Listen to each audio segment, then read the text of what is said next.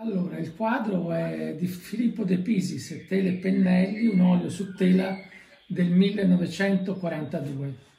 Il quadro è un moderno adattamento del genere della natura morta, un genere mai passato di moda, neppure con le avanguardie e il ready-made più concettuale. Lo spazio è saturo di oggetti. Sul piano inclinato del tavolo vediamo una pipa da fumo, pennelli in un barattolo, libri accostati in fila a una bottiglia di vetro, la tavolozza del pittore, il retro di una tela.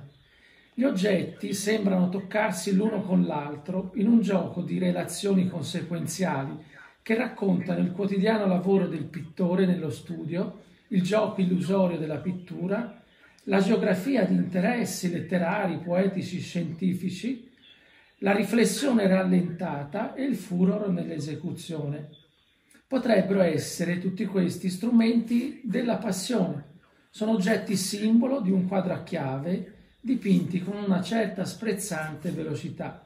In qualche modo sono gli strumenti di una passione febbricitante e trascinante, armamentario senza il quale non si dà combustione, accensione, non si fa arte.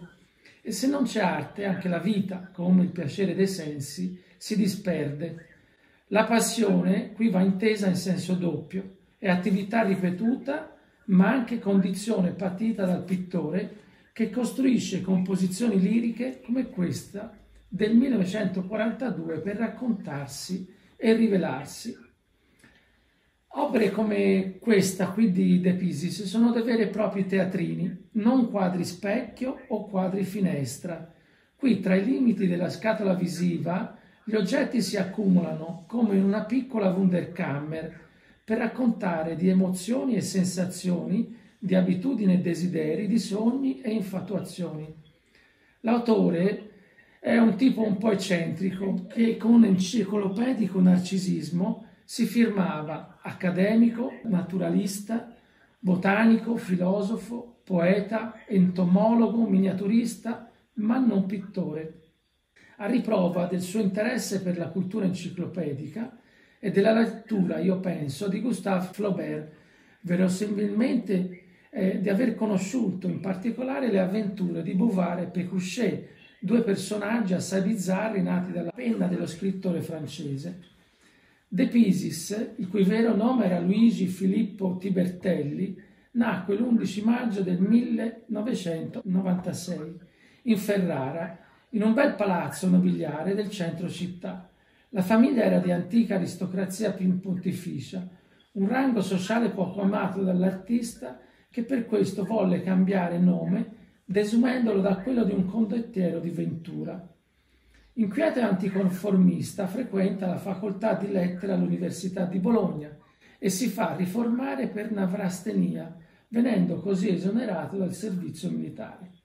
Negli anni della Prima Guerra Mondiale a Ferrara riconobbe il suo destino di pittore, oltre che di letterato e dandy. Nel 16 incontra Giorgio De Chirico e Alberto Savigno e con loro discuterà di metafisica e metterà a fuoco il proprio contributo all'avanguardia del XX secolo. Scrittore prolifico, ha avuto il culto dell'eleganza come specchio della vita interiore, trovando in Oscar Wilde un importantissimo modello di stile. Sua intenzione fu quella di scrivere e pubblicare un saggio sul modo di vestire. Restano a memoria di questa ricerca pagine frammentarie di straordinaria bellezza raccolte sotto il titolo dell'eleganza. Per la sua dichiarata omosessualità, esibita con provocatoria disinvoltura, visse in un perenne contrasto con la società conservatrice dell'epoca.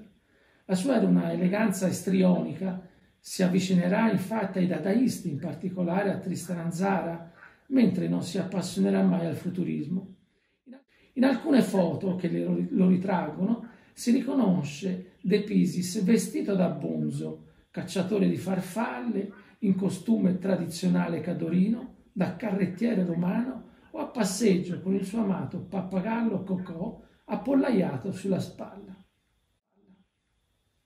Con tutta la sua scienza da autodidatta aristocratico, De Pisis riempie fascicoli e fascicoli, quaderni e fogli in cui le parole si accompagnano alle immagini disegnate per dare una durata e una qualche evidenza figurativa a ricordi, sensazioni, note, appunti, illuminazioni, esplosioni poetiche, elaborazioni, logorree verbali, come ne scriveva uno storico dell'arte Paolo Fossati anni fa. Sulla tela raccoglie, accumula e distribuisce oggetti che hanno una relazione con la vita e l'interiorità, con le necessità dello spirito e i bisogni della sessualità. De Pisicis mette in scena composizioni che hanno la funzione di rebus e di allegorie, dialoga a distanza, nel linguaggio dell'arte, con i suoi amici pittori e colleghi poeti, De Chirico e Govoni in particolare, ma anche Savigno e Carrara. Trasforma le inquietanti visioni metafisiche del primo in cartoline sentimentali, in cui il ductus pittorico è quello di un post-impressionista, più nervoso però e sovraccitato, perfino isterico. Letterato raffinato, bulimico lettore, De Pisis passa velocemente, con un dispendio fisico oltre che cerebrale, dallo scrivere al dipingere, dal pensare filosoficamente al sentire la realtà come pittore, più sensuale che mentale, e che ritrova nella materialità di colore e segno, nel consumarsi dell'immaginazione dipingendo, il calore e il respiro della vita, l'erotismo e l'edonismo, il sesso e la carne, gli odori e i sapori. Analizziamo velocemente il nostro quadro per non essere trascinati però dal ritmo di quella scrittura figurativa, di quella mente eclettica. Una moderna natura morta, dicevamo, in cui tutto rinvia al mestiere del pittore, alla vita dell'artista. I pennelli appena usati sono stati risposti nel barattolo, la pipa è appoggiata sul piano e potrebbe essere ancora calda.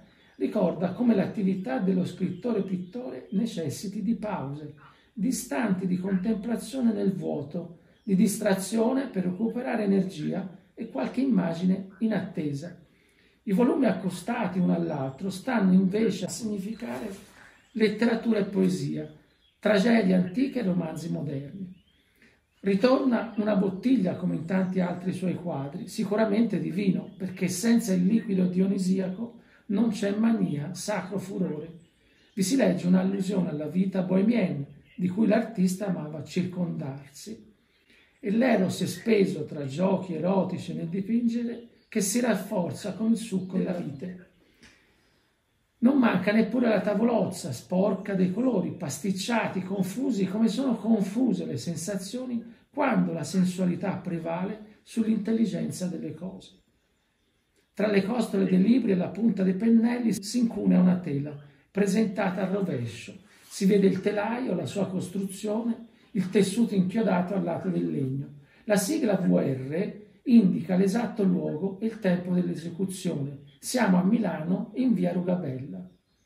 Quella tela rovesciata, quadro nel quadro, mostra l'altra faccia della medaglia e ci svela il mestiere, il piacere della pittura, l'illusione dell'immagine dipinta che il linguaggio figurativo non è riproduzione della realtà, imitazione, ma gioco della mente e avventura dei sensi. Tecnicamente un teatrino in cui l'artista dispone i suoi oggetti emblematici, le cose che lo eccitano e rappresentano, l'orizzonte esterno e quello intimo, chiavi di accesso all'inconscio. E gli oggetti tra loro parlano, comunicano, aggiungono qualcosa di imprevisto non contemplato razionalmente.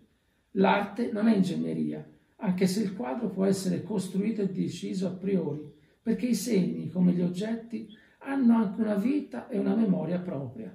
L'opera è quello che raccontiamo e molto di più. Grazie e buona giornata.